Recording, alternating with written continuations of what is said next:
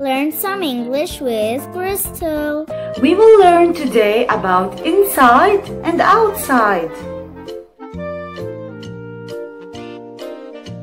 The cat is inside the box. And now the cat is outside the box. Hi, I'm inside the house. And now I'm outside the house. I have for you many other examples. Look.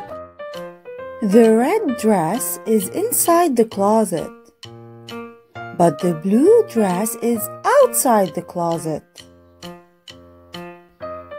The orange is inside the basket. But the banana is outside the basket. The bear, the piano, and the plane are inside the toy box. But the ball and the blocks are outside the toy box.